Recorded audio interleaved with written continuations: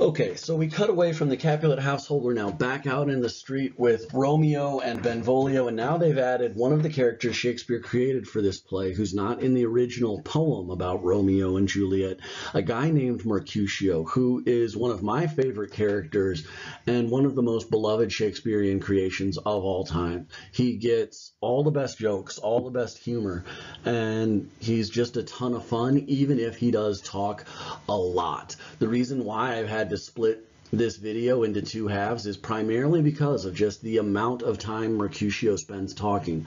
But he's got a lot of really cool things to say, so don't just tune out on Mercutio, otherwise you're going to miss some of the most important stuff going on in this play.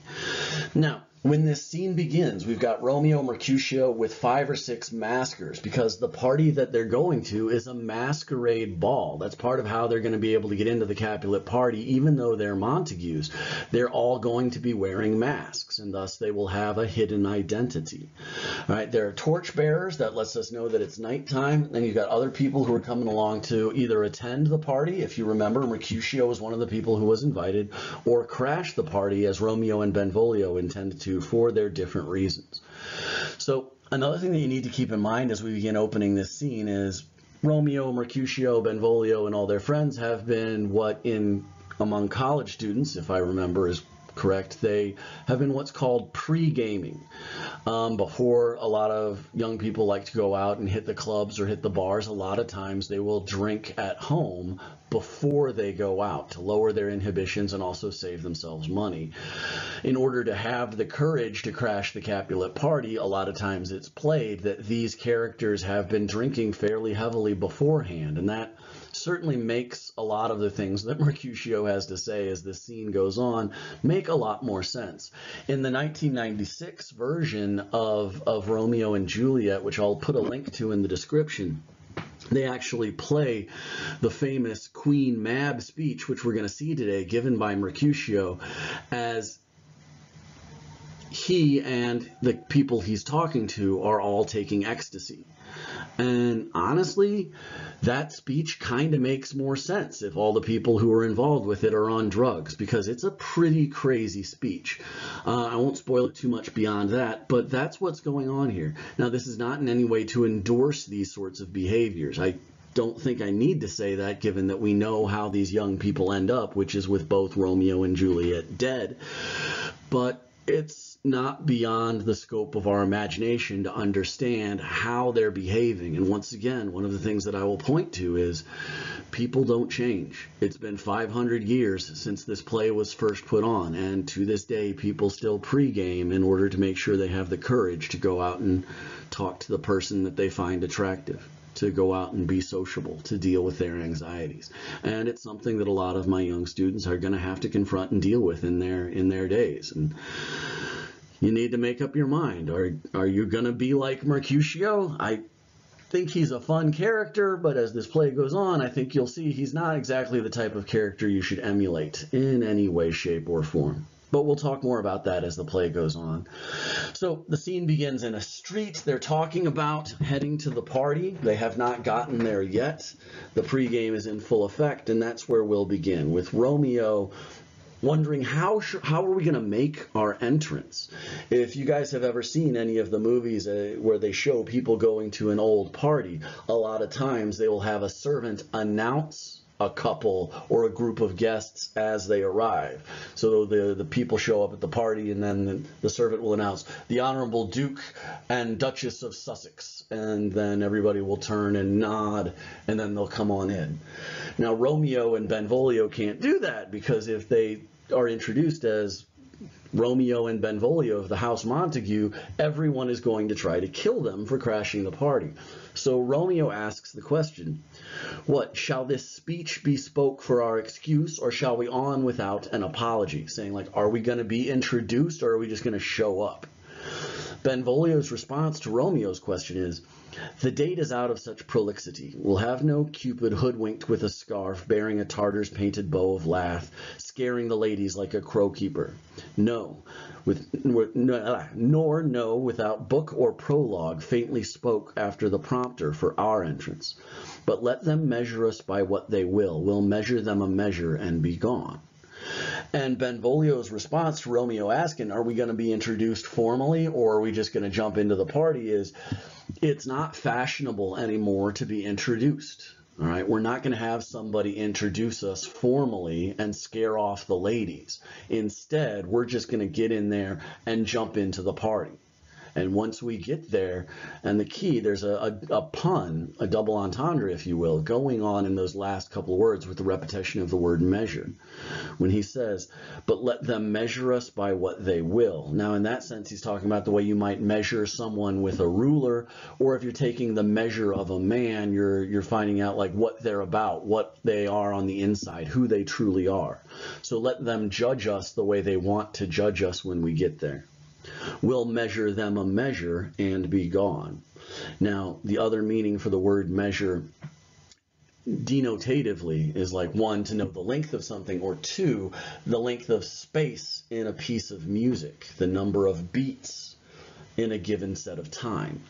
And so we'll measure them a measure, we'll dance them a dance and be gone. All right, so the party they're going to will have dancing. Maybe he's saying we'll just dance them a dance. On the other hand, if you guys have ever seen like two dudes in a hallway shoving each other, one saying like, "You want to dance, bro?" Like they're not talking about getting down and boogieing, they're talking about fighting. And so Benvolio is allowing for that possibility as well. We're going to go. We're either going to dance one way or we're going to dance another way. Whatever we go, whatever we do is whatever we do. All right.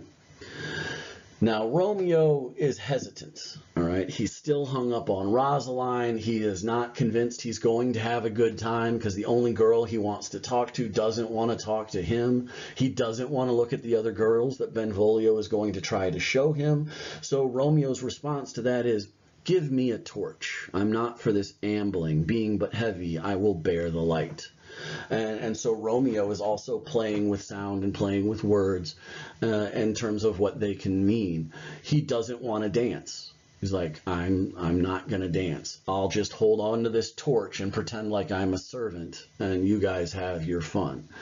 Now, this is interesting for a couple of reasons. Now, one, like there's a phrase that's fallen out of usage in popular times, but it was more prevalent in in decades gone by, where if you carry a torch for someone, it means that you have a crush on them that either they don't know about or they do not reciprocate.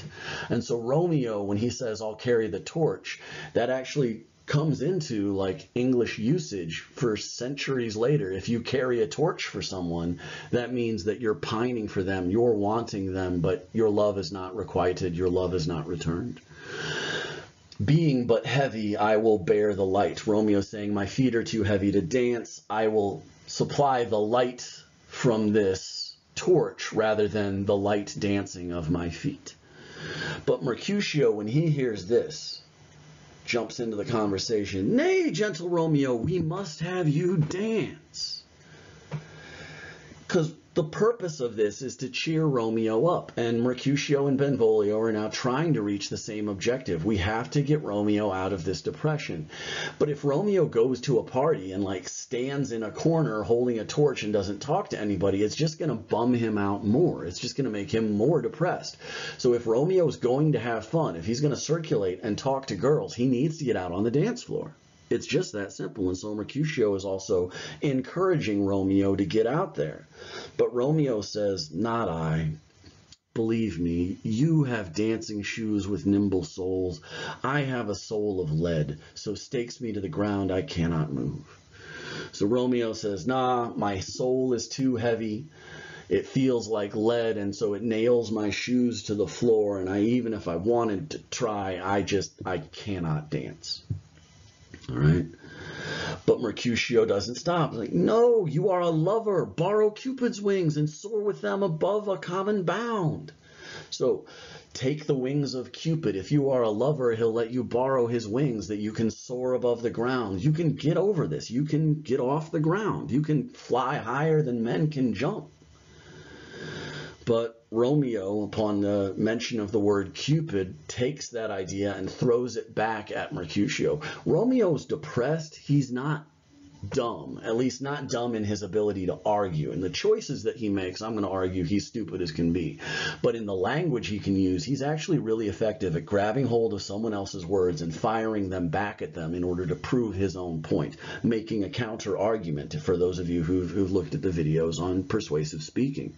So he takes Mercutio's idea of Cupid and fires it back at him, saying, I am too sore and pierced with his shaft to soar with his light feathers, and so bound I cannot bound above the pitch of dull, above dull woe. Under love's heavy burden do I sink. So he's like, you don't understand. I can't borrow Cupid's wings because Cupid shot me with his arrow and made me fall in love and then didn't shoot Rosaline, which is why I'm depressed. So the fact that I have this arrow inside of me is the reason why I can't dance. I can't fly or jump or, or do anything other than feel sad and it's love that's making me sad. So stop talking about Cupid, Mercutio. Now, Mercutio is a great talker, so he doesn't let Romeo win this point. Instead, he says, and to sink in it, should you burden love, too great an oppression for a tender thing. Like, oh, that's so sad. Something as soft as love has managed to make you sad. How weak you must be. But Romeo's response is to take him literally at that and say, like, is love a tender thing? It's too rough, too rude, too boisterous, and it pricks like a thorn. So Romeo's response is like, you're getting on me for love beating me up. Well, let me tell you about love. Love hurts. Love has kicked my butt, and I don't want to mess with it anymore. I'm done with that fight.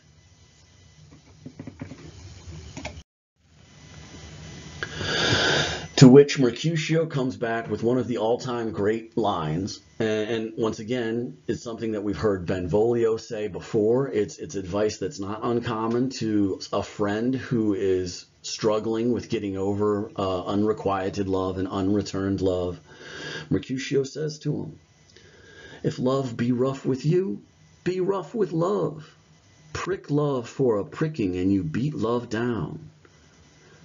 Give me a case to put my visage in, a visor for a visor. What care I, what curious eye quote, doth quoth deformities? Here the beetle brows shall blush for me. Now, there's a lot of different ways you can read what's being said by Mercutio here, but the first two lines are really, really straightforward. If love has been rough with you, then you need to be rough with love. And you can take that in a couple of different ways. You can take that with its its obvious meaning saying that like, look, love has given you a bad time, then you need to give love a bad time. But that's not particularly incisive. What what does it mean to be rough with love? Is this the same argument that Benvolio was making earlier where he's saying, look, if you've got a broken heart, you need to go out and break somebody else's heart, right? you can make yourself feel better by making someone else feel worse. And Mercutio is globalizing it beyond individual contact, contact, because like the way Mercutio is talking about it here is different from what Benvolio says, because Mercutio is globalizing it. Mercutio is saying, offend love, and love being an emotion, not a person, it's okay to be rougher with that. If you take the way Benvolio meant it, with like someone has hurt you, you need to go out and hurt someone else. That's horrible advice. If you are upset and you go out and make someone else upset, that shouldn't make you feel better unless you're a sociopath. So there's there's that particular line. The next line, prick love for a pricking and you beat love down. Now there's a double entendre here with, with the meaning of the word prick. Now, if you prick your finger with a needle, like I have to do several times a day to test my diabetes sugar, it's a small, sharp pain that's over with quickly. That's one meaning of. On the other hand, there's the, the double entendre of prick, which is a euphemism for male genitalia. Um, prick love for a pricking and you beat love down. Um, use that male genitalia for what male genitalia was designed for, and you conquer love that's another way to interpret what he's saying beyond just what Mercutio or what Benvolio had told him earlier. And then he turns away, and these next sets of lines can be very interesting in terms of how you go about reading the character of Mercutio. Because it's a masquerade ball, he starts trying on different masks. Give me a case to put my visage in. He's saying, give me a mask to cover up my face. A visor, which is a covering of the face on a helmet, for a visor, for a mask he's already wearing. What care I, what curious eye doth quote deformities? So why do I care what people see on my external face? And this is an interesting line. In the 1996 version of Romeo and Juliet, it's played that Mercutio actually has affection in a romantic way for Romeo. But Romeo does not return that affection. So you have this sort of love triangle potentially, if you read it this way, happening here. Where here he is encouraging Romeo to go out to dance to get over his sadness when really he's the one who wants to be with Romeo. And so he has to put on a mask to cover up his, his mask that he has to wear all the time for his affection for Romeo. And the beautiful thing this sets up is what happens later on at the party when Romeo sees Juliet and when Juliet sees Romeo. Up to that point, everyone has been pretending, everyone has been fake, everyone has had this false face. But when Romeo sees Juliet and Juliet sees Romeo, their masks come off and they see each other for who they truly are. So it sets up that as well. Now, Benvolio gets back to the nitty gritty of their plan and says, Come, knock and enter, and no sooner in, but every man betake him to his legs. So he's saying the second we show up, we get inside, we just hit the floor and start dancing. All right? But Romeo is being steadfast in his refusal to dance. A torch for me. Let wantons light of heart tickle the senseless rushes with their heels, for I am proverbed with a grandsire phrase, I'll be a candle holder and look on. The game was never so fair, and I am done. So, double entendres going on in here. No, I'll just hold this torch. You guys who have light hearts and light heels, you can go out and, and dance on the floor and tickle it with your heels. Like that's all good and well. I just want to be a candle holder and look on. The game was ne'er so fair, and I am done. Now there's a double entendre with game. Game, the game you play. So the game was never so fair. This is an unfair game of love since I'm already depressed. I'm done with it. Or game in terms of the way Mercutio and Benvolio are encouraging him to pursue women, which is the the the hunting game, the the animals that I would pursue are not fair, are not beautiful to me, so therefore I am done. I don't want any part of this, he's saying. Now, when he says done, Mercutio comes back with a different pun, and you need to understand the meaning of the word done, not D-O-N-E, but D-U-N. D-U-N just means the color brown. Uh, the proverbial mouse in, in this sense. The, the little brown field mouse was called a dun mouse back in the day, and that's what Mercutio is talking about here. Tut duns the mouse. The constable's own word, if thou art done, we'll draw thee from the mire of this self of this sir reverence love wherein thou stickest up to thy ears. Come, we burn daylight. Oh, so he's saying if you're brown, then you're a mouse, you're being too quiet. Or if you're brown because you're stuck in the mud, you're being a stick in the mud, let us pull you out. Let's get you out of your depression. Let's get out and dance. But we're burning daylight. We're wasting time. To which Romeo looks around at the darkness and says, it's not so. And Mercutio has to explain, no, dude, it's a figure of speech. I don't mean we're literally burning daylight. I mean we're wasting time. So Mercutio says, I mean, sir, in delay we waste our lights in vain like lamps by day. Take our good meaning, for our judgment sits five times in that ere once our five wits. So your five wits are your five senses. You know, touch, smell, taste, hearing, sight. All right. Our, our five wits our, our ability to think will be greater than our senses if we just get moving. Let's not waste our time with this. Let's get to the party. Twitch Romeo actually now starts to come around to his real objection for attending this party. He says, And we mean well in going to this mask, but 'tis not wit to go. And when he says wits, he's not talking about the five senses. He's talking about it's not smart. To which Mercutio is like, oh, why may one ask? And Romeo's response is, I dreamed a dream tonight. So Romeo is trying to explain to his friends, like, look, guys, before we came out, I had a little nap, and during that nap, I had a dream, and that dream told me that this is a bad idea. So Romeo seems to have had some sort of premonition. On the other hand, Mercutio's response to this idea that Romeo has had a dream is to say, so did I. I also had a dream tonight. Now, Romeo, out of curiosity, is like, well, what was yours? But Mercutio, in order to, to take away the power of Romeo's argument, says that dreamers often lie. So, do you guys believe that you can dream about the future and it'll come true? Maybe you've experienced something similar to that in your own life. But not everything you dream comes true. I mean, I had a dream earlier this year that Dr. Bennett and I were working in an office supply store earlier. Uh, it, it, didn't actually happen. It's just a weird freaking dream that I had probably from eating pizza for dinner that night. Mercutio was saying, oh, you had a dream, I had a dream too. My dream told me that dreamers lie. So whatever you dreamed is a bunch of garbage. It doesn't matter. But Romeo, once again, showing his his his wit, throws back those words at Mercutio again. If dreamers lie, then in bed asleep, where they dream things true. So he's talking about lie, not to tell an untruth, but lie as in I lie down in bed.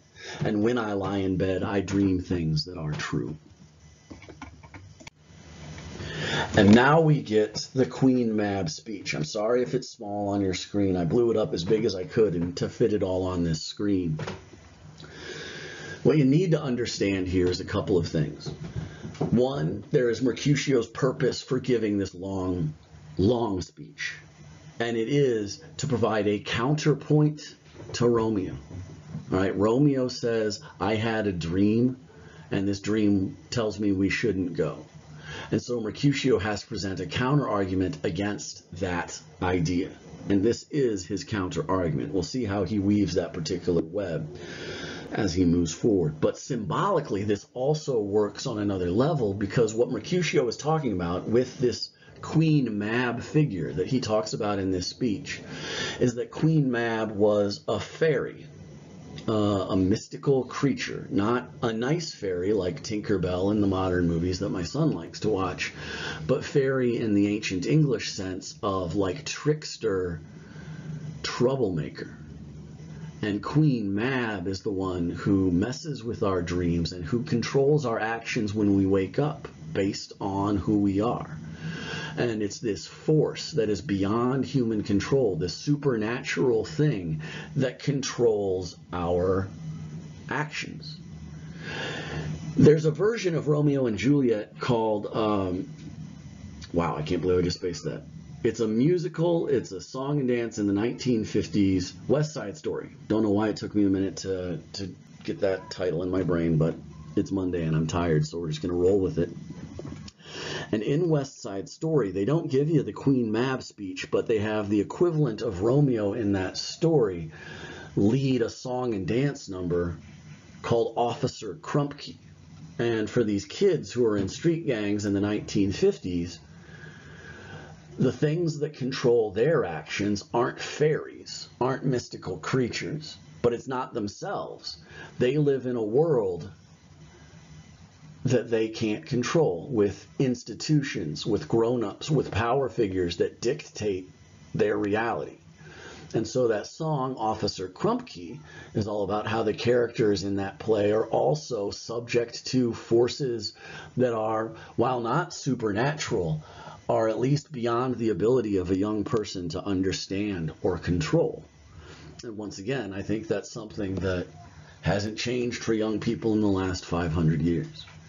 But anyway, without further preamble, Mercutio begins the Queen Mab, Mab speech by saying, Oh, then I see Queen Mab hath been with you.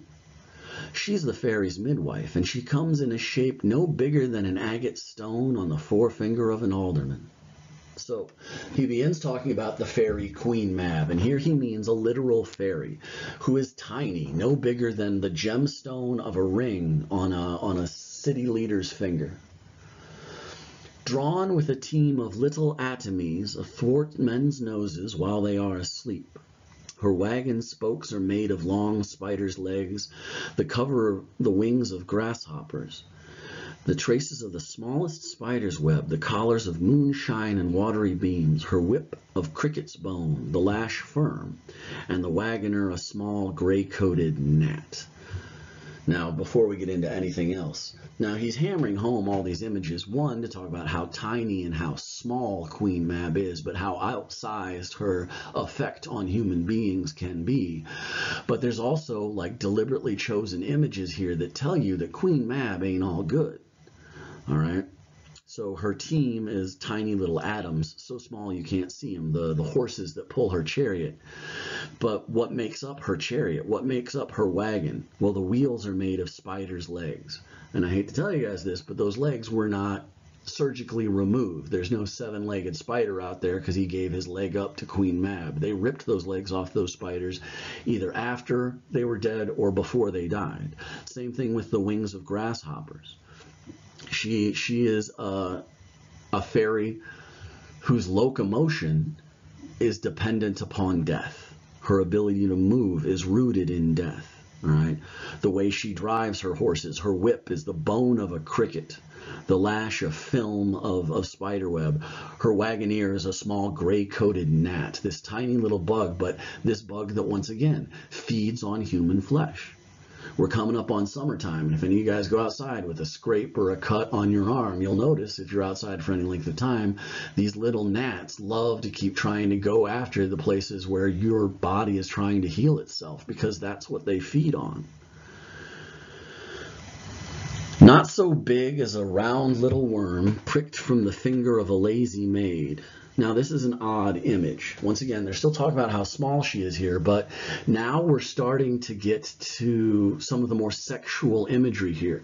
Queen Mab only shows up in people's lives when they are asleep. What else do we think about when we're lying in bed? Well, sexual things. And so when they talk about her wagoner is a small gray-coated gnat, not so big as a little round worm, that little round worm has a phallic image. All right, what do worms look like?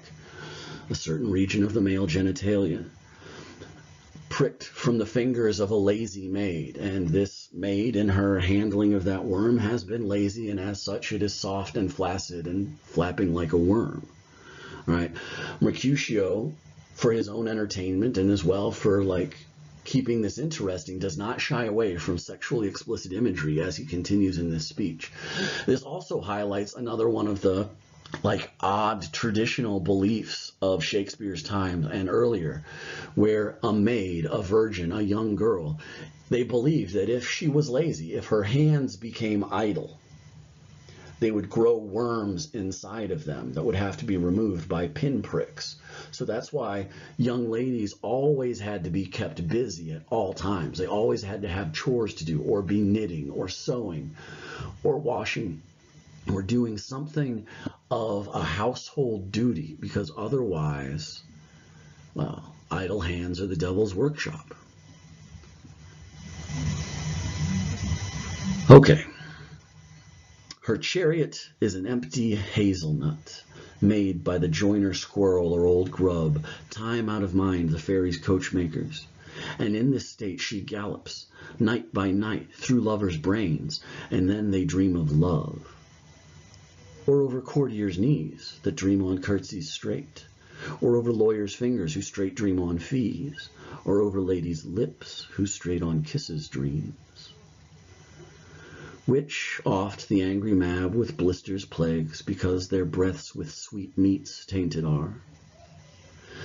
So, Queen Mab, as she drives her chariot through the night, controls the dreams that people have. And you can have, once again, a double meaning for dreams. When I say When Romeo says, I dreamed a dream tonight, he's talking about I was asleep and I saw pictures in my brain. But when Martin Luther King gave his I have a dream speech, he wasn't talking about something he saw in his sleep. He was talking about his hopes or his aspirations. And Lady Mab controls, I'm sorry, Queen Mab controls both sets of these dreams. When she drives past lovers, they dream of love. But other people care about other things. Not everybody cares about love. A courtier is someone who exists in the court of the king or the queen, someone who politics in order to gain power and prestige. And so what do they dream about? They dream about curtsying. They dream about bowing, about submitting themselves to power because that's what they love.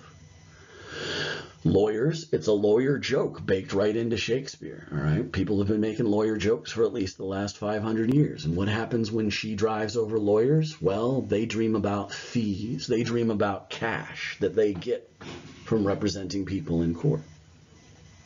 And young ladies, when she drives over their lips, they dream about kisses. But that's not where it stops with these ladies. Because when the ladies are dreaming of kisses, Queen Mab leaves a blister behind. What's a blister that's on your lip? That's that's herpes.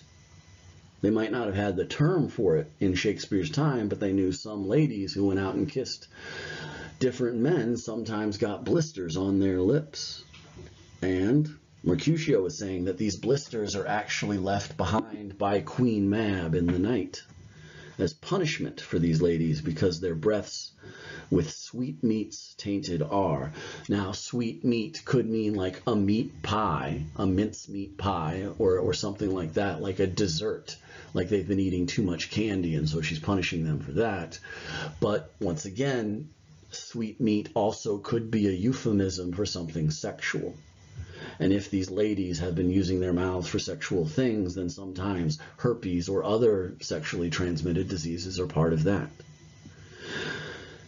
At any rate, sometimes she gallops over a courtier's nose, and then he dreams of smelling out a suit.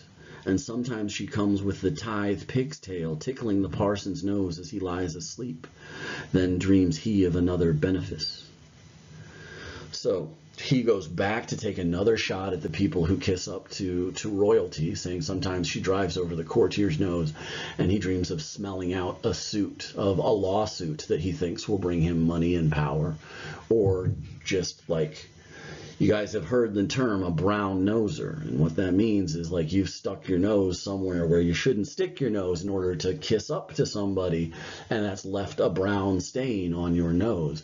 If you're smelling out a suit, it's gross, but Shakespeare's using that same idea here. All right. And then he takes a shot at one of his favorite targets, which is the church.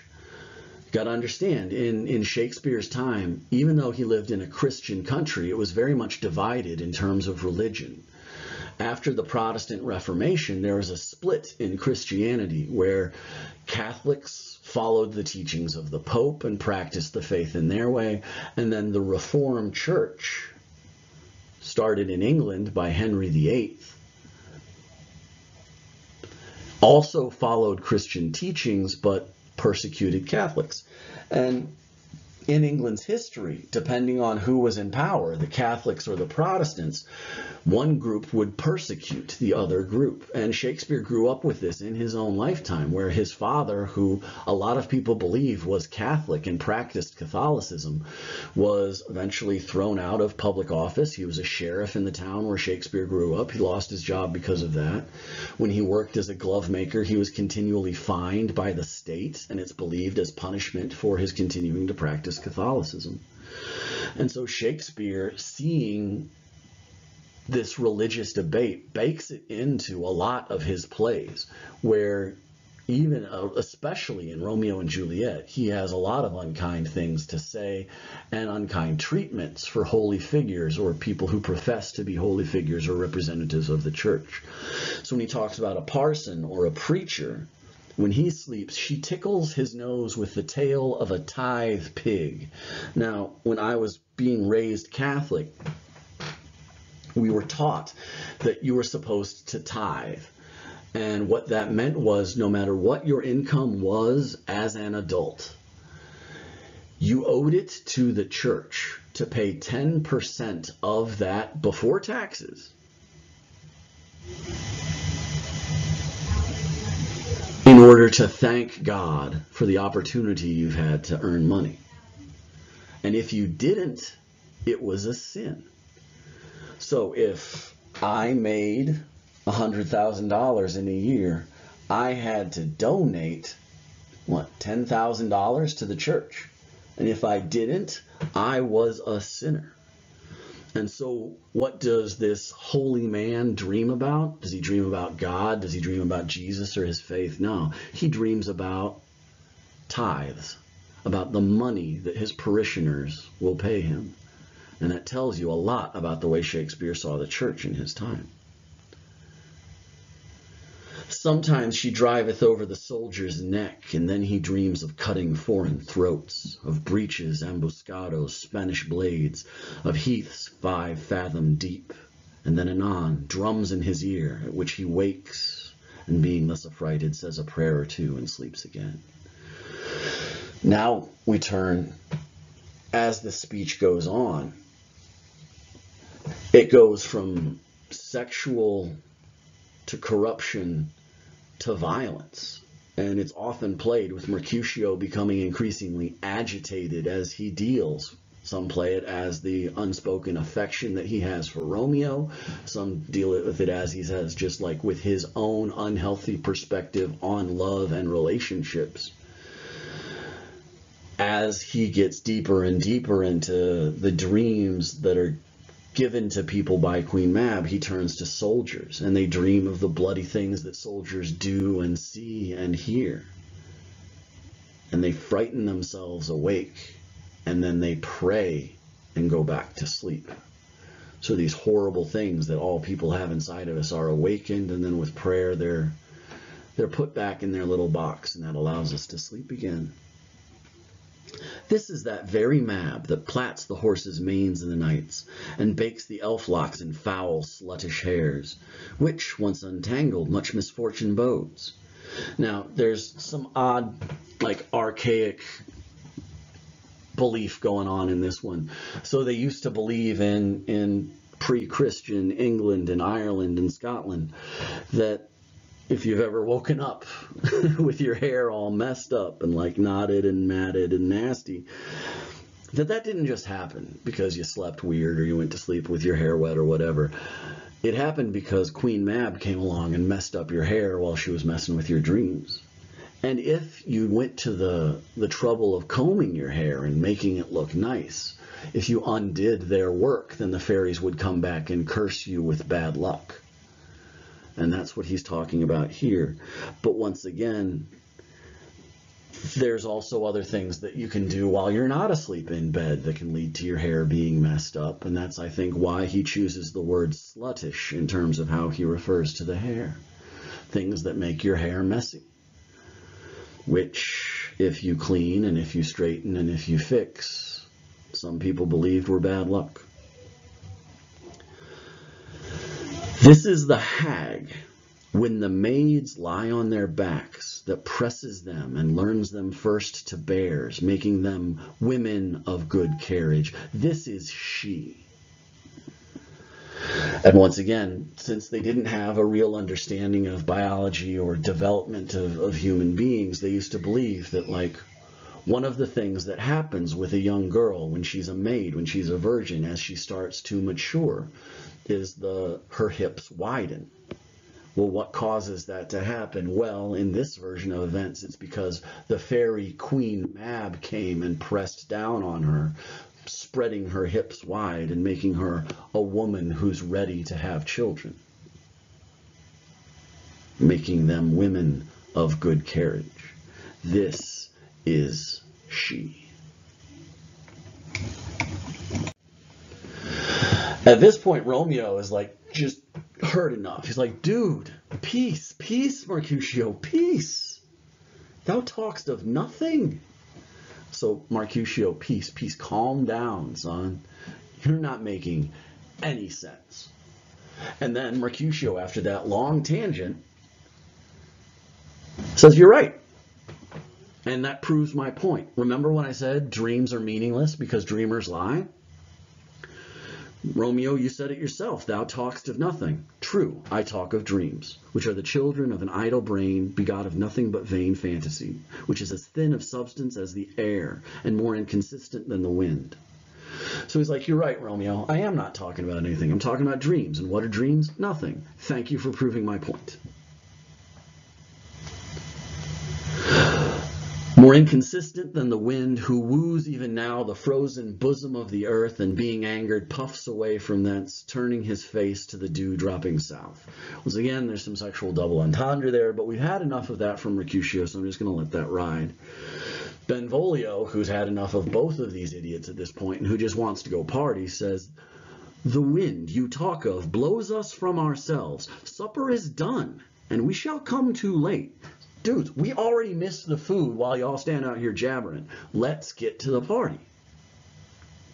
And Romeo, despite his misgivings, despite his discomfort, despite his dream, says, I fear too early. So to go at all is to go too early for Romeo. For my mind misgives some consequence yet hanging in the stars. There's that idea. Romeo and Juliet being called star-crossed lovers. There's a, a, fate hanging above Romeo written in the stars that he can't control. But this consequence yet hanging in the stars shall bitterly begin this fearful date. Whatever bad thing is coming my way starts tonight at this party. I just have a feeling that that's what this is going to be. And we in the audience who know how this ends with Romeo and Juliet both dead are like, uh-huh. But Romeo says, with this night's revels and expire the term of a despised life closed in my breast by some vile forfeit of untimely death. Whatever this bad thing is, I have a feeling it's gonna kill me. It's gonna end up with me dead. But he that hath the steerage of my course direct my sail on, lusty gentleman. And you can read those last lines from Romeo a couple of different ways. Like one, he's putting his hand and his fate in God's hands and saying, he that directs my sail. If God wants me to die, I'll do whatever God wants me to do. Or he's handing over responsibility for his actions to his friends. You direct my sail, my friends. You want me to go party? All right, let's go party. And Benvolio, whose amp says, strike drum! And then they all march off to go crash the party. Okay, so we know the Montagues are on their way to come crash the party, and to give us an idea for how far along the party is, we now get a quick scene inside the Capulet house with the servants all doing their jobs. So the first servant begins, where is Potpan that he helps not take away? He shrift a trencher, he scrape a trencher.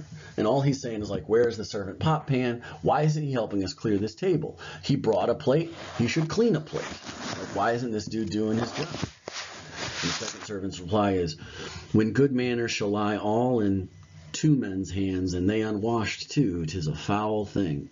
So if you're waiting for somebody who's a dirty servant to show good manners, you're going to wait for a long time. First servant says, Away with the joint stools, remove the court cupboard, look to the plates. Could thou save me a piece of marchpane? And as thou lovest me, let tell the porter let in Susan Grindstone and Nell. Anthony, Potpan. Now, there's a couple of things going on here that, that, are kind of entertaining. Why are the servants all like so focused on not just clearing the tables of the dishes and the food, but getting the stools and the tables out of the way? What are they trying to do? Well, based on the conversation we just heard, I think it's safe to assume they're getting ready to clear out some space so people can dance. And the other thing that they're planning is once the rich folks start dancing and they're not so important to keep bringing food and drink around, well, the servants are going to have a party for themselves. And the first servant is looking after his own interests. So save me a piece of March marchpane. It's essentially saying like, save me a piece of the fancy cake make sure I get to have some of the good stuff too. And speaking of some of the good stuff, tell the porter, the guy at the door, that when she shows up, let in Sue Grindstone and Nell.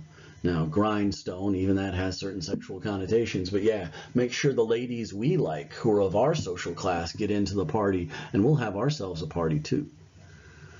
Now, Anthony, Potpan, Aye, boy, ready. You're looked for and called for, asked for and sought for in the great chamber. So people looking for you, go do your job. We cannot be here and there too. Cheerly boys, be brisk a while, and the longer liver take all. So the first servant gets annoyed. The second servant is like, look, dude, you're asking too much. We can't be in two places at the same time, but don't worry about it. Life is long, and simply by surviving, we win. So it's all right if we take a little bit extra time. It's not going to kill anybody. Now, with that setting the tone of like the fun and the fast moving words that are taking place, the rest of the party goers now join on stage. Capulet, Juliet, and other people in their masks getting ready for the party. So Capulet has a job to do as the host of these ceremonies. The, the meal is over, but the party's just getting started. So it's going to be up to him to keep this party going. And so he gives a broad speech to try to encourage people to have some fun. Welcome, gentlemen, ladies that have their toes unplagued with corns will have a bout with you. Aha, my mistresses, which of you will now deny to dance? She that makes dainty, I'll swear she'll have corns and I'll come, come ah, die, screwed that part up, but I'm not stopping because I'm 35 seconds into this. All right, let me try it again. Ah, my mistresses, which of you all will now deny to dance? She that makes dainty, she, I'll swear, hath corns. Am I come near ye now? So, you guys ever been like think back to a middle school dance where it's like all the girls are on one side and all the boys are on side and nobody really wants to actually dance even though everybody wants to dance? Capulet is going to get this dance started by talking some trash to the ladies. He says, "Girls, if you don't have like corns, the big nasty thick sores on your feet that hurt when you walk, if you don't have those, get out and dance. And if you refuse to dance, I'm going to tell everybody you've got nasty feet. Now, who's going to say they can't dance? Welcome, gentlemen. I have seen the day that I have worn a visor and could tell a whispering tale in a fair lady's ear. Such as would please, tis gone, tis gone, tis gone. You're welcome, gentlemen. Come, musicians, play. A hall, a hall, give room, and foot it, girls.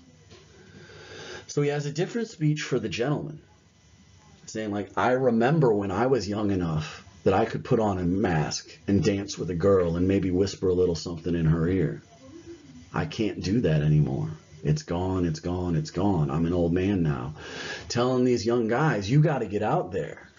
You got to make this happen because you don't have forever. Pretty soon you're going to be too old, just like me. So let's dance. Let's dance while we can. So musicians play, clear the floor, and ladies, let's dance. So the musician plays, the dance begins, and then Capulet, who's also had a few drinks up to this point, starts hollering. More light, you knaves, and turn the tables up and quench the fire. The room has grown too hot. So he's he's still barking directions. Let's get these lights up so you can see people, get these tables out the way, and put out that fire because it's hot. And if you guys have any experience with people who've been drinking alcohol, a lot of times they start to feel flushed. They start to feel uncomfortable. They start sweating, even though the room temperature hasn't changed. He's feeling a little bit warm right now. Now he's speaking to one of his cousins, who he says, Ah, sirrah, this unlooked for sport comes well. Nay, sit, sit, good cousin Capulet, for you and I are past our dancing days. How long is it now since last yourself and I were in a mask? So cousin Capulet, who's also apparently been drinking, is ready to go out and dance himself. And old man Capulet's got to be like, hold on, man. You and I are too old to be out here dancing. Sit next to me and let's just talk. How long has it been since we were young enough to wear a mask and dance? But there's also this other thing where he says this unlooked for sport comes well. Now you could read that as he's talking about the ladies being unusually available and willing to give their time in their dancing. This unexpected we'll say fun from the ladies is, is nice to see. Or he could be talking about certain uninvited guests that he's clocked as not being on his guest list, but he's still happy they're at the party because, you know, the more the merrier. And we all know who those guests that aren't invited are. So, second Capulet says, by Our Lady, 30 years. So it's been 30 years since we were young enough to put on a, a mask and dance.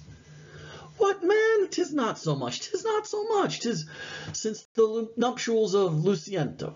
Come Pentecost as quickly as it will, some five and twenty years. Then we were masked. So he's like, dude, it has not been 30 years since we were out here dancing with these ladies. We're younger than that.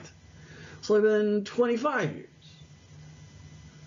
But Second Capulet says, "Tis more, tis more. His son is elder, sir. His son is thirty. So you're clocking it by the dance at the wedding for Lucentio. Well, Lucentio's kid is 30. So it's been at least 30 years since they got married. And Capulet can't believe it. Wilt thou tell me that? His son was but a ward two years ago. Like, dang, man. Kid grew up fast. And as Capulet is having his conversation, Romeo has had someone else catch his eye. Now, he thought he was coming here to see Rosaline, but someone else has attracted his attention. And so he grabs a servant walking by and says, What lady is that which doth enrich the hand of yonder knight? So he grabs the nearest guy and is like, Who is that girl? The servant says, I know not, sir and leaves. And now Romeo has like a, a brief a brief soliloquy here where even though there are other characters on stage, he's sharing his innermost truth of thought with the audience. And he says, Oh, she doth teach the torches to burn bright. So right away, the first thing Romeo says, he starts to reflect on this girl that he sees is, dang, she is hot except the way he said it back in the day, is she teaches the torches to burn bright. She seems to hang upon the cheek of the night like a rich jewel in an Ethiop's ear.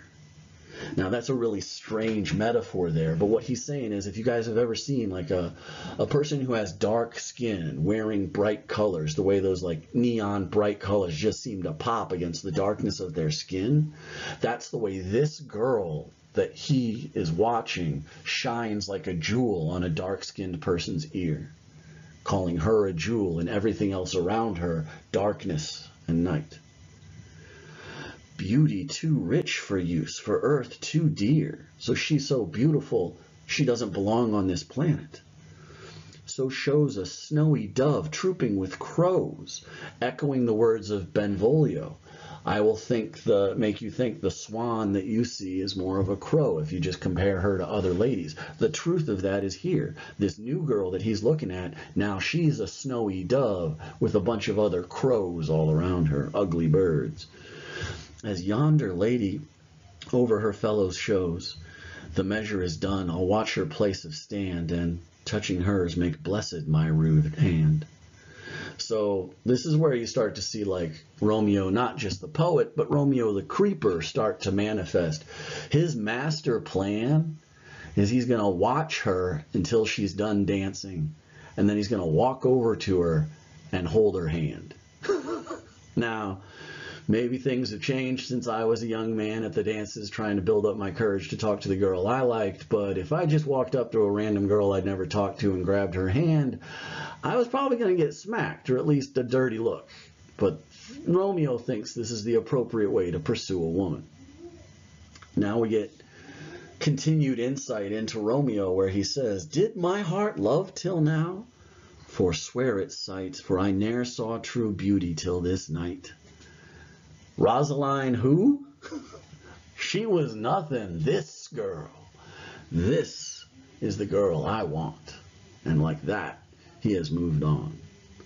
And this is something you need to ask yourself as you go about considering your opinion of the character Romeo is like, does he really love Juliet? Like one, she's apparently his rebound from Rosaline. Two, he falls in love with her with love at first sight, if you believe in that. But three, the second he sees her, he falls in love with her. And has his understanding of love changed really from what it was before? Maybe it's just she hasn't turned him down yet. But he thinks now, this is love. Unfortunately for Romeo, as he's been talking to himself, somebody else has been listening in. Tybalt overheard Romeo's little soliloquy there and recognized Romeo's voice. This, by his voice, should be a Montague. Fetch me my rapier, boy. What dares the slave come hither, covered with antic face, to fleer and scorn at our solemnity? Now by the stock and honor of my kin to strike him dead, I hold it not a sin. So Tybalt recognized Romeo's voice. He wastes no time. He sends his servant to bring him his sword, his rapier, and he's like, I don't care. I'm not thinking about the prince's threats. This guy comes to our party to disrespect my family. I'm going to kill him right now. Interestingly, Capulet, in his cups as he is, sees Tybalt, sees Tybalt getting angry and moves to block him. Why, how now, kinsman? Wherefore storm you so? Uncle, this is a Montague, our foe, a villain that has come hither in spite to scorn our solemnity this night. Young Romeo, is it? Now, did Tybalt say anything about it being Romeo to Capulet? Nah, Capulet had already clocked who that was. He knows it's Romeo. And has he acted against him yet? Nope. Capulet is actually keeping the peace. And let's be honest, has Romeo been acting a fool? Has Romeo been causing trouble? Up to this point, all Romeo has done is stood by the wall with a torch like he said he was going to do. So Capulet got no problem with Romeo being at his party. What he does have a problem with is Tybalt starting a fight at his party. Because remember, what's the punishment from the prince? You start a fight in these streets, I'll execute you. Not only will I execute the people involved with it, but I'll execute the heads of the household who start the ruckus. So if Capulet lets Tybalt start a fight here, not only will Tybalt be executed, but he can be executed too. So he's got a lot of reasons to squash this before it gets worse. Tis he, that villain Romeo. Content thee, gentle cause, let him alone. He bears him like a portly gentleman, and, to say truth, Verona brags of him to be a virtuous and well-governed youth. So let it go, man. Be cool. He hasn't caused any trouble. He's been a gentleman and his reputation is good. I would not, for the wealth of all the town here in my house, do him disparagement.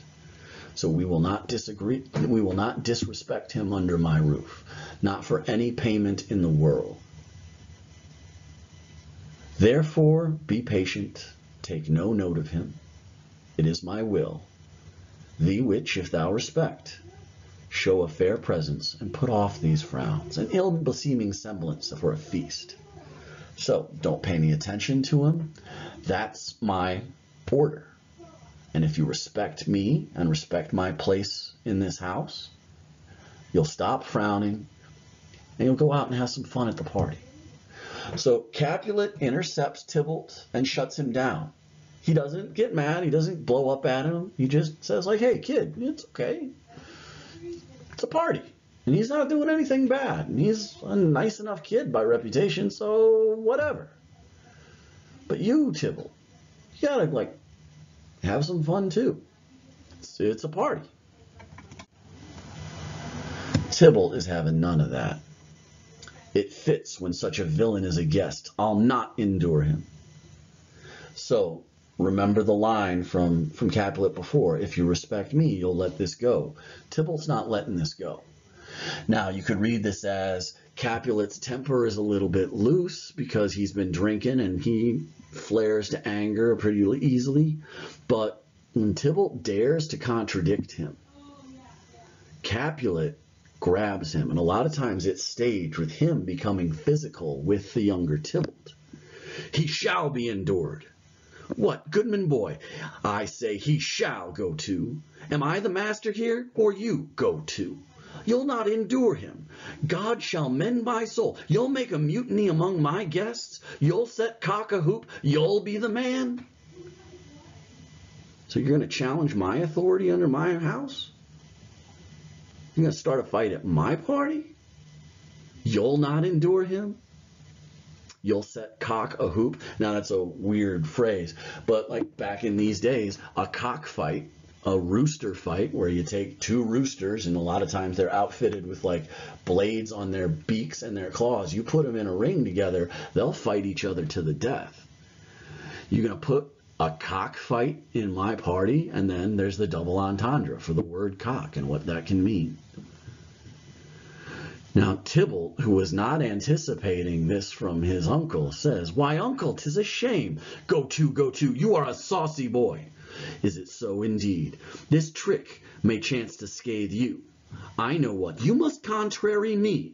Marry, 'tis time. Well said, my hearts, you are a princox. Go, be quiet, or more light, more light, for shame. I'll make you quiet. What? Cheerly, my hearts. Now, this sounds a little bit like bipolar here as he's jumping back and forth, but the party kind of grinds to a halt when Capulet starts yelling at Tybalt in front of all the guests. And so as he realizes this, he turns and like starts encouraging and cheering the partygoers like nothing to see here, guys. Keep on dancing. Let's get some more light. Let's have some more drinks. Let's do some more dancing. Come on. And then Toad goes right back to yelling at Tybalt. You are a princox. That's once again the uh, the flap of feathers on the top of a rooster's head. You are a peacock. Go to. So he goes back and forth, jumping between yelling at Tybalt and encouraging the party to go on as it should.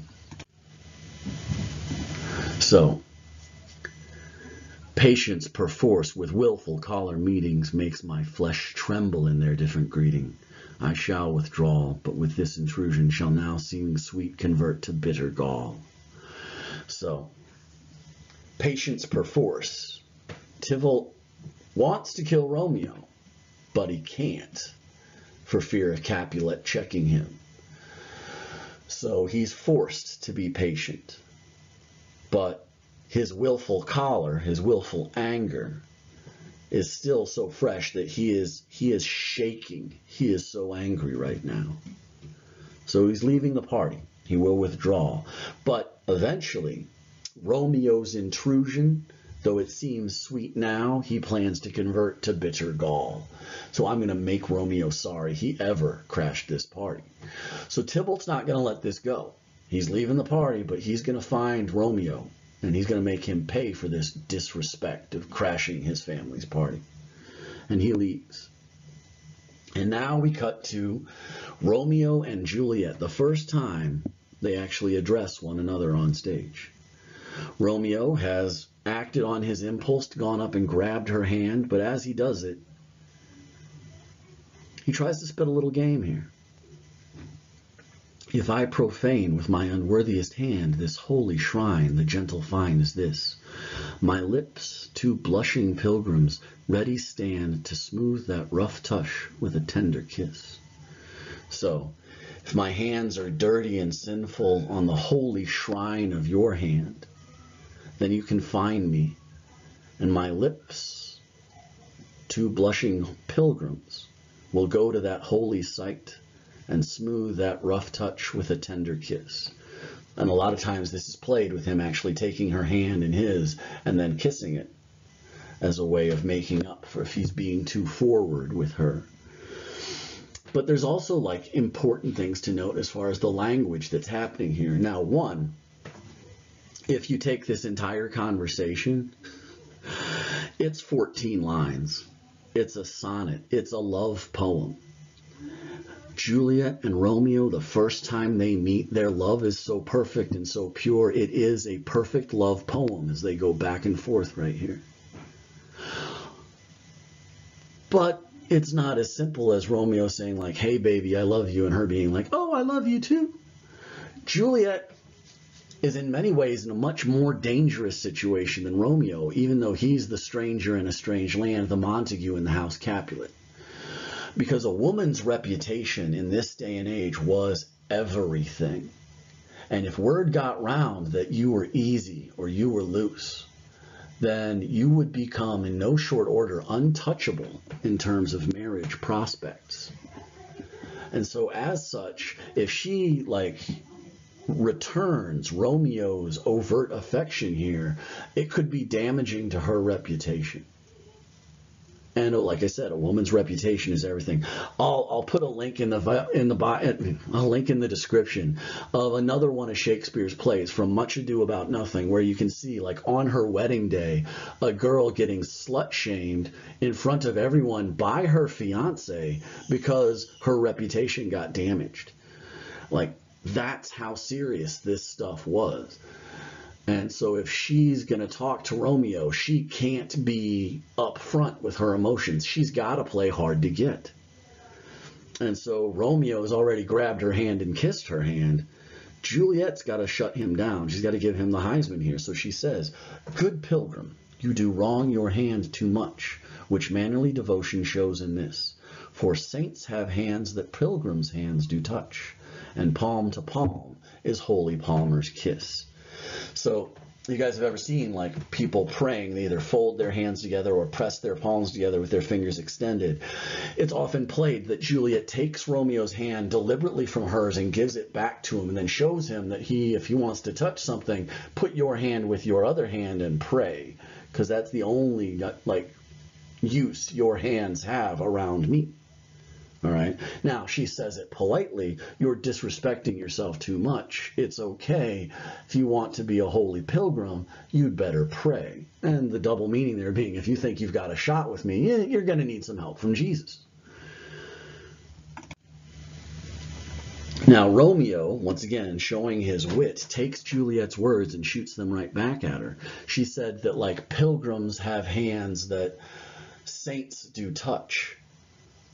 So he's like, well, if pilgrims and saints can touch hands, pilgrims and saints have lips. What about those? Have not saints lips and holy palmers too? Juliet, no slouch in terms of like her ability to to throw words back at somebody, throws Romeo's back at him, says, I, pilgrim, lips that they must use in prayer.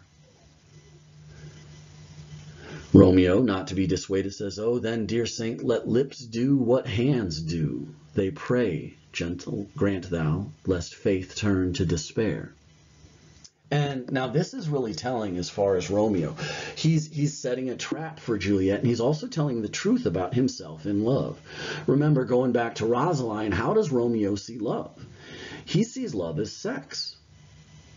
And when he was denied sex with Rosaline, he fell into despair. And despair is a word that gets thrown around a lot today that's become somewhat divorced from its original meaning. In Christianity, at least the way I was brought up, despair is the only sin that can't be forgiven. Despair, in, in that original Christian sense, is to abandon all hope, to give up the idea that things can get better. And the thing that makes it unforgivable, it's not that God can't forgive it because God is all powerful, all knowing, and all good. God can do whatever in Christianity. But the thing is, is that if a sinner falls victim to despair, they won't ask for God's help. They won't believe that their prayers matter. And we've seen Romeo denied the lips and the hands of Rosaline fall into despair. And the trap he's planting here for Juliet is telling her, like, if you don't return my affections, you're sentencing me to the sinful state of despair. Now, Juliet has a comeback for that. Saints do not move, though grant for prayer's sake. So Juliet's response is, and and I can remember being a little kid, I went to St. Barnabas Catholic Church. There's a big statue of St. Barnabas, and if you wanted to, you could go and like say your prayers to St. Barnabas and ask for his special help with certain things. And and Juliet says, all right, well, if in this extended metaphor, I'm a saint, I'm not going to move as a statue does not move just because you pray to it. I might grant your wishes. That's neither here nor there, but I'm not going to move for you physically. But Romeo sees that as an opportunity and says, Then move not while my prayer's effect I take. Thus, from my lips by yours, my sin is purged. And Juliet says she's not going to move, so Romeo's like, okay, great, don't move, hold on. And then he leans in and kisses her. And says, thank you, because with your holy kiss, you have now taken away all the sins from my lips. But Juliet, who's not exactly happy about being kissed by this random dude in the middle of a party, says, then have my lips the sins that they have took. So like, Romeo, you got your sins all over my lips. And Romeo, once again, instead of seeing a problem, sees an opportunity. Sin from thy lips? Oh, trespass, sweetly urge, give me my sin again. Like, oh, did I get my sin all over your lips? Hold right there, I'll get that back. And then he kisses her again. So in the span of like 30 seconds, you gotta like give it to Romeo for not moving slow. He's grabbed her hand, kissed her hand, and kissed her on the lips twice, despite the fact that she's not given him any reason to think that she's into this at all. He's like borderline sexually harassing her, if you want to put it in the parlance of modern times. But Romeo sees something, he goes for it. Now, even at this, Juliet has a line that you can read it a couple of different ways. You kiss by the book. Now, the way I always interpreted this is like, okay, I maybe I've never kissed a girl and I don't really know what to do. So I go on Google and I type in how to kiss. And then I go to the website. It's like step one, turn head to the side at 45 degree angle. Step two, close eyes. Step three, lean in. Step four, partially moisten lips and spread. Like if you like are doing it mechanically step by step, like you just read it off the Google page, is it going to be a good kiss? Is it going to be a passionate kiss? No, it's going to be by the book, which is not particularly exciting probably for the person you're kissing. However, uh, it can be and has been played that some people like, Ooh, you kiss by the book. Juliet thinks he's a good kisser. I think it's more fun if Juliet says he's not a good kisser, but you can read it either way. Now, at this point, the nurse shows up to block Romeo. Seeing this dude put his hands all over what is, for all intents and purposes, her daughter, the nurse is not exactly excited about this because remember, Juliet's supposed to be spending time with Paris, not making out with some random dude. So the nurse comes running up and says, Madam, your mother craves a word with you. So maybe Lady Capulet has been watching this and is like, uh-uh, that ain't happening. He's, she's supposed to be kissing anybody. She's supposed to be kissing Paris. The nurse goes in to break up Romeo's smooch fest and send Juliet on her way. All right, Juliet typically wanders off at this point, and Romeo asks, What is her mother? So, who's her mom? Which the nurse says, Marry Bachelor, her mother is the lady of the house, and a good lady, and a wise and virtuous. I nursed her daughter that you talked withal. I tell you, he that can lay hold of her shall have the chinks. So the nurse spills the beans here. Her mother is the lady of the house. So she's a Capulet. And furthermore, that girl you were just kissing, I nursed since she was a little babe. So I don't know who you think you are, a little dude, but you better watch yourself. But then the nurse, because she can't resist it, also says, like, if you do happen to marry her, you're going to be rich. At which Romeo is shocked. The nurse wanders off, and Romeo is just like, she is a Capulet? Oh, dear account, my life is in my is my foe's debt. So Romeo's like, oh, crap. I just have been making out with my family's enemy. I think I might have feelings for her. Oh, crap. And now Benvolio typically stumbles up and he's like, away, be gone, the sport is at best. And for those of you who, as you get older, end up going to parties, whenever you have a friend who who comes up and says like, let's get out of here, this party sucks. It's usually because they've struck out with everybody they've tried to talk to and now they're ready to get out of there because they don't want to make an idiot out of themselves anymore. But Romeo, who's still processing the fact that he's been kissing with his blood enemy, is just like, I, so I fear, the more is my unrest. He's like, yeah, let's get out of here, dude. I'm a little freaked out too. But as they start to walk out, Capulet grabs them. He's like, Nay, gentlemen, prepare not to be gone. We have a trifling foolish banquet towards.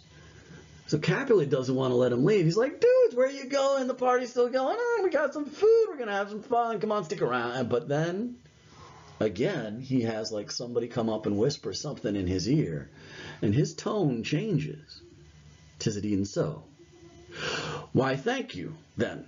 I thank you, honest gentlemen. Good night. More torches here. Come on, then. Let's to bed. I, sirrah, by my fay, it waxes late. All to my rest. So what do you think got whispered in his ear that changed his tone so abruptly? Why did he go from being like, guys, where you going? We're going to party some more. We got some more food to being like, whoa, wait a minute. It is late. Uh, y'all got to go. Now, we know it's not that he just figured out these were Montagues, because he was cool with Romeo being a Montague at his party. I think somebody just whispered in his ears, like, hey, uh, buddy, that dude was just making out with your daughter. he was like, uh, okay, you can come to my party, but I draw the line at you kissing my daughter. Y'all got to go. In fact, everybody, everybody's got to go. Party's over. Turn on the lights. Get out of my house. And so they start making their way towards the door, and Juliet and the nurse are kind of left behind. And Juliet calls the nurse over. Come hither, nurse. What is yond gentleman. And, and, Juliet's actually being crafty here, and you can even see like a little bit of mistrust for the nurse because she doesn't point straight at Romeo and be like, "Who's that?" She goes through a couple of different people, trying to camouflage her interest. So that is the son and heir of old Tiberio. And what's he that's now going out the door? Marry, that I think be young Petruchio. And what's he that follows there that would not dance? I know not. Go ask his name. And the nurse usually leaves at this point, and Juliet says to herself, And if he be married, my grave is like to be my wedding bed. Now, this is probably just teenage hyperbole, her saying, like, and if he's already married, I'll just kill myself. Like, I don't think Juliet's at that point. I don't think she's borderline suicidal at this point in the play, but it's a little ring a ding ding for everybody in the audience being like, hey guys, remember how this ends? Yeah, Juliet's more right than she knows, even though Romeo's not married. So the nurse comes back. His name is Romeo and a Montague, the only son of your great enemy. And Juliet, just like Romeo, is shocked. My only love sprung from my only hate? Too early seen unknown and known too late. So Juliet is shocked that she is just apparently even though she wasn't giving Romeo any signs of the fact that she likes him, feeling something for Romeo too. But now she finds out that the feelings she has for somebody she's supposed to hate. And now what does she do with those feelings? She can't go back and be like, oh, well, I never liked him anyway, because you can't like stuff that back in the box once it gets out. So now she's like, well, crap. I wish I had known. I wouldn't have let myself feel this affection for him if I had. Prodigious birth of love it is to me that I must love my loathed enemy. So this is crazy. I'm in love with the person I'm supposed to hate. And the nurse, when she hears that, she's like, what is this? What's this? And Juliet's got like, uh, uh, a rhyme that I learned even now of one I danced with all. So it's just, just the words to a song, just nothing nothing important. Certainly didn't just fall in love with that guy that I'm supposed to hate because he's the sworn enemy of my family for generations untold. Then inside, someone starts yelling, Juliet! And the nurse says, Anon, anon, come, let's away, the strangers are all gone. And with that, we end Act One. We've seen the major conflict come up with the two families, and specifically the conflict for Romeo, which is going to be Tybalt, is gunning for him now. Tybalt wants to shut him down. Additionally, we've seen Romeo's got a little bit of problem in that the person he's in love with is a Capulet, and that's not going to be easy for him. Same thing for Juliet. Even though she wasn't showing that she liked Romeo at first, because as a woman of good standing, she can't show that she likes Romeo. She likes him. She's into him. And now she's got to figure out what to do. So that's the end of Act 1, Scene 1. I'm sorry it took me so long to get these recorded. Three hours altogether. Dear golly, that's a lot of talking, and I'm sorry. But to do it right and to do it thorough, this is the way we got to do it. I'll start working on Act 2 today if time and children allows and we'll just keep it going. We're coming up on the end game here as far as like getting stuff turned in and, and fixing past grades, but it's still not too late. All you guys have to do is watch a video and take some quizzes and you'll be okay. Um, I'll leave it at that. So as always, email me if you have any questions, problems, or comments. Don't forget to like, subscribe, and ring the bell, and I'll see you when I see you.